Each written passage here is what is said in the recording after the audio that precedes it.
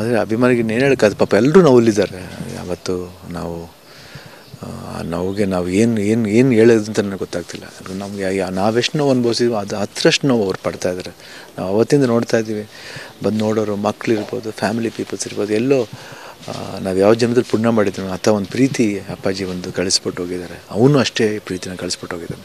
ಎಲ್ಲರೂ ಆ ಪ್ರೀತಿ ವಿಶ್ವಾಸ ನೋಡಿದ್ರೆ ನಾವು ಇನ್ನೇನು ಹೇಳೋಕ್ಕಾಗತ್ತೆ ದಯ ಆದರೆ ದಯವಿಟ್ಟು ಬೇರೆ ಥರ ಒಂದು ತೀರ್ಮಾನ ತಗೊಳಕ್ಕೆ ಹೋಗಬೇಡಿ. ಆದಷ್ಟು ಪಾಪ ಎಷ್ಟೋ ಆರ್ಡನ್ ಫ್ಯಾನ್ಸ್ ಅವರು, ಅವ್ರಿಗೋಸ್ಕರ ಯಾರೋ ಎಷ್ಟೋ ಜನ ಜೀವ ಬಿಟ್ಬಿಟ್ಟಿದ್ದಾರೆ. ದಯವಿಟ್ಟು ಆ ಕೆಲಸ ಮಾಡಬೇಡಿ, ಯಾಕಂದರೆ ನಿಮ್ಮ ಒಂದು ಫ್ಯಾಮಿಲಿಗೆ ಅವರು, ನಿಮ್ಮ ಜೀವ ಮುಖ್ಯ ಆಗುತ್ತೆ. ನಮಗೂ ಮುಖ್ಯ ಆಗುತ್ತೆ. ಪ್ರತಿಯೊಂದು ಕನ್ನಡಿಗರಿಗೂ ಆಮೇಲೆ ಕನ್ನಡ, ನಮ್ಮ ಎಲ್ಲ ಹೀರೋಸ್ಗಳಿಗೂ ಮುಖ್ಯ ಆಗುತ್ತೆ. ದಯವಿಟ್ಟು ಅಂತ ಒಂದು ತೀರ್ಮಾನ ತಗೋಬೇಡಿ. ಧೈರ್ಯವಾಗಿರಿ. ನಾವು, ಯಾಕಂದರೆ ಅಪ್ಪು ಇದ್ದಿದ್ರು ಅಪ್ಪು ಇದೇ ಮಾತು ಹೇಳ್ತಿದ್ದ. ಖಂಡಿತ ಬೇಡ.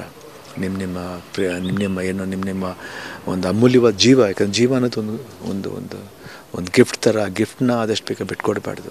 ಅರ್ಥ ಆಗುತ್ತೆ ಆ ಪ್ರೀತಿ. ಆ ನೋವನ್ನು ನುಣ್ಕ ನುಂಗ್ಕೊಂಡು ನಡೆಯುವನೇ ಮನುಷ್ಯ. ನಾವು ಎಲ್ಲರೂ ಆ ನೋವನ್ನು ನುಂಗ್ಕೊಂಡು ನಡಿಬೇಕು. ಆಗ ಕೆಲಸನ ಮುಂದುವರಿಸ್ಬೇಕು. ಯಾಕಂದರೆ ಪ್ರತಿಯೊಬ್ಬನೂ ಅವ್ರವ್ರ ಜವಾಬ್ದಾರಿ ಇರುತ್ತೆ. ಬೇರೆ ಥರ ಜವಾಬ್ದಾರಿ ಇರುತ್ತೆ. ನಾವು ಅದಕ್ಕೆ ತೊಂದರೆ ಕೊಡೋಕೆ ಹೋಗ್ಬಾರ್ದು, ಯಾವ ಅಭಿಮಾನಿಗಳಿಗೂ ತೊಂದರೆ ಕೊಡೋಕೆ ಹೋಗ್ಬಾರ್ದು.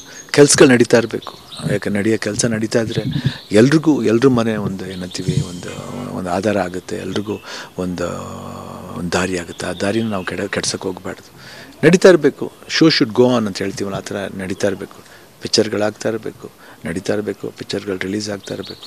ಥಿಯೇಟ್ರ್ ಮುಂದೆ ಜನ ಬರಬೇಕು, ಪ್ರೀ, ಆ ಪ್ರೀತಿನ ತೋರಿಸ್ಬೇಕು. ಯಾಕಂದರೆ ಎಲ್ಲ ನಿಮ್ಮ ಒಂದು ಅಭಿಮಾನದಿಂದನೇ ಇಡೀ ಇಂಡಸ್ಟ್ರಿ ಇಡೀ ನಾವೆಲ್ಲ ಕಲಾವಿದರು ಅದಕ್ಕೋಸ್ಕರ ಕಾಯ್ತಾ ಇದ್ದೀವಿ. ನಾವೆಲ್ಲರೂ ದಯವಿಟ್ಟು ಆ ನುಂಕೊಂಡು ಮುಂದೆ ನಾವು ಕೆಲಸನ ದಯವಿಟ್ಟು ದಯವಿಟ್ಟು ನಿಮ್ಗೆ ಅಪ್ಪು ಮೇಲೆ ರಿಯಲಿ ಆ ಒಂದು ಗೌರವ ಇದ್ದರೆ ಅವರು ಏನು ಆಸೆ ಪಡ್ತಿದ್ರು, ಅಪೇಕ್ಷೆ ಪಡ್ತಿದ್ರು, ಆ ಗೌರವನ ನೀವು ಕಾಪಾಡ್ತೀರಂತ ಒಂದು ನಂಬಿಕೆಯಿಂದ ನಾನು ಹೇಳ್ತಾ ಇದ್ದೀನಿ. ದಯವಿಟ್ಟು ಆ ಥರ ಒಂದು ತೀರ್ಮಾನ ತಗೋಬೇಡಿ. ಸರಿ.